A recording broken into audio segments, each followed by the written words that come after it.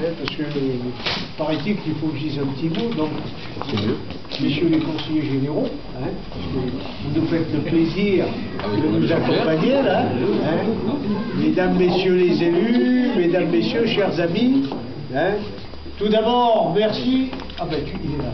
Tout d'abord, merci, monsieur le maire, de nous accueillir dans cette salle à l'occasion du lancement des 10e Cybernésie.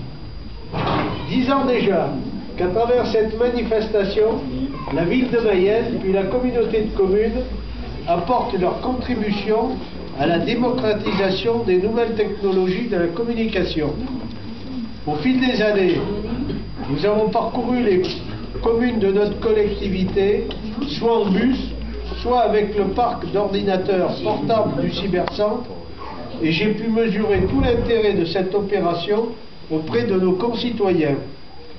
Par ailleurs, le développement constant du cybercentre implanté à Mayenne nous confirme le besoin toujours croissant de notre population pour les applications informatiques et de l'Internet.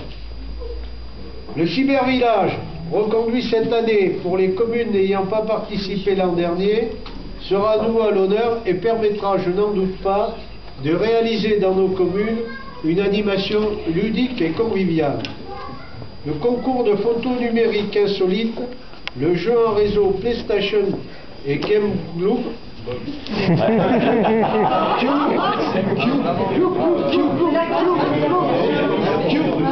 Sur Fun Radio ainsi Discube. que les animations du Cybercentre compléteront cette grande fête de l'Internet.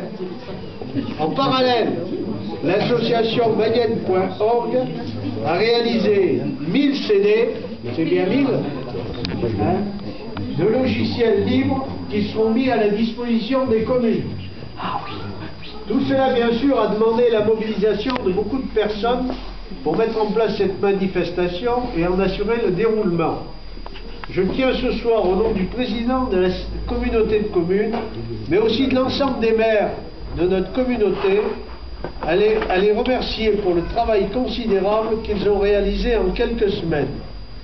Je voudrais que vous applaudissiez chaleureusement Rodolphe Chevalier.